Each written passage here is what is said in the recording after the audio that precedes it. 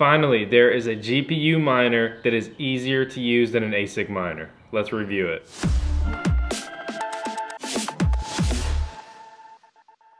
The MandaMiner is a server chassis built GPU mining rig hosting seven RX 574 gigabytes. As you can see, this is one of the cleanest mining rig builds I've ever seen especially in a server build. You notice in some of the other server builds we've had, we've had from really no wire management to pretty good wire management to this is just over the top, almost over engineered wire management. And as a from a consumer point of view, I like it. M&A Technology have their own custom version of Linux and wow, does it make setup pretty freaking easy on this coming from back when I was using NVOC and I was just lost in the sauce of Linux and going through all these commands. And, and, please understand, you know, two years ago I couldn't build a computer and I sure as hell could not use Linux. Times have changed. This mining rig in comparison though could be used by anyone. You could have zero Linux experience, zero mining rig experience, and all you have to do is fill in the box, what, two times and click a button, you'll be good to go. The chassis they have is nice and clearly customized and it's sporting not 5, 10, or 12, but 14 fans excluding the CPU fan and the 7, well actually 14 GPU fans that are actually on the GPU housing. The cards they're using were a little disappointing. They're the Asus Strix versions. It's not the best heatsink on there, but again it's a 4 gigabyte, so it's gonna be fine either way. All the components are, you know, pretty basic, all you really need for a mining rig. My only complaint, I guess, would be they're using the Sparco power supply. It's a gold, which, you know, I understand gold, that's fine. I'm not gonna ding them for the gold. Obviously, I prefer platinum titanium, but realistically, the price for a gold PSU is like astronomically less than platinum power supplies.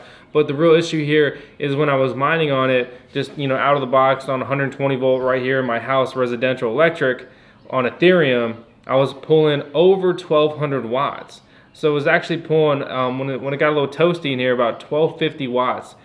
That is exceeding 100% usage of a power supply, which is not safe. They said in their testing that they get about 1100 watts. So I don't know what the discrepancy there was, but after I switched it over to a CryptoNight heavy algorithm, as expected, the power consumption was extremely reduced down to about 720 watts. Keep in mind you get slightly better efficiency when you are running on 240 volt, which this power supply included in this rig is capable of doing both. I used their custom Linux build, which was running Ethminer to mine Ethereum, and I pulled that out and then I installed a USB stick. I'm running SMOS. You guys know I like to run SMOS. It's just easy using my dashboard, and I wanted to try it out on some other miners. With that, I'm using an XMR-Stak, and I'm getting about a little over 600 hashes per card at a 900 uh, core undervolt. I'm running 1150 on the core as well as 2000 on the memory, power stage 6. Again, these settings could be tuned a little bit further, but this is just a nice baseline. They cut my power usage, if we round up, almost in half. Pretty, pretty nice if you ask me especially my 11 cents, 10 and a half cent uh, electric rate. They're trying to jack it up. I'm not happy about it. If you're wondering about the price point of this rig, MandaMiner did allow me to review this unit and all the links are in the description and they also provided a coupon code which is simply VoskCoin to use if you'd like to get this rig. I'm not saying I recommend it, I'm not saying I don't. I want you to watch this video and form your own conclusions and do your own research and see if this mining rig is the right fit for you. I would like to see them build out other coin options, like a lot of other coin options. Maybe that would be like their feature because right now the only two coins you can mine with this rig out of the box unless you you know start messing around in that actual Linux build or change the operating system like I did to a different Linux build of SMOS then you will be stuck mining either Ethereum or Zcash. And guess what miner is arriving at my house today?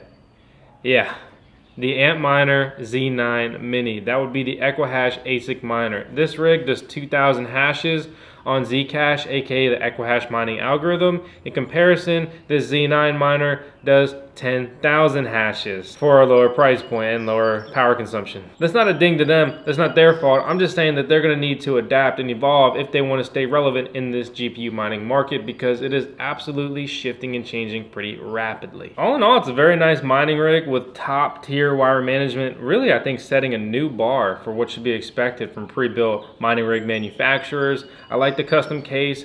They told me that they have the ability to produce about 500 units or so per month. So they are not some basement startup. They are an established company that is capable of doing volume, which would be more relevant for a farm build out. I, I talked to a lot of these big farm build outs and the biggest thing they complain about is putting all of these mining rigs together. You know, when we're doing it more or less on a hobby or small scale business level, it's okay. I get it. You know, we can make the time to build the rigs, but when you've got to put a thousand GPU mining rigs together, you start losing your mind after probably like 40, 50. As always, I think pre-built rigs absolutely have their place. Of course, you will save money if you put the rig together yourself. It's like if you did anything yourself. You could paint your house for less than you could hire someone. That's kind of the point. If they're gonna do the work, they've gotta make money in some avenue. If I could change or upgrade anything on this rig, I would probably start with the cards.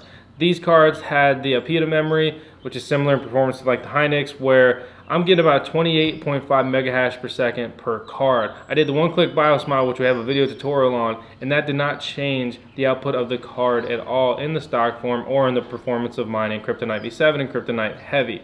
So it looks like they're running a BIOS modded version. We're still topping out at 28.5 megahash a second. One other thing, I don't see any mining rigs incorporate, but on a server chassis build, I think it'd be cool, interesting, and probably not that hard to implement. It's just some kind of slide in and out filter. Imagine if we just had a nice little air filter. Think of, you know, the ones you see on computer cases that just slide out. They got all that gross dust on them. You can just wash them out. That would be nice to see right here on this fan grill. So above all, what do you think of this mining rig? Let me know in the comments below on this video. And also, what do you think about the garage? I'm the first, uh, this is the first review style video shot here since we started to redo a lot of stuff. I got the cabinets up, pretty stoked about it. I'll talk about that more in another video. I wanna clutter this one up. I know the echo's still bad. I got some uh, bass traps on the way to hopefully help with that. But wow, I am so sick of fighting echo. What a nightmare. Thanks for nothing, Shotgun Mike. I'll see you guys next time. Make sure to uh, subscribe, hit the like button, click that bell so notifications are always on. I'll see you next time. they got me. So I broke my camera. No. No, I didn't mean to do that. I thought you meant to. Ow. You stepped on my head.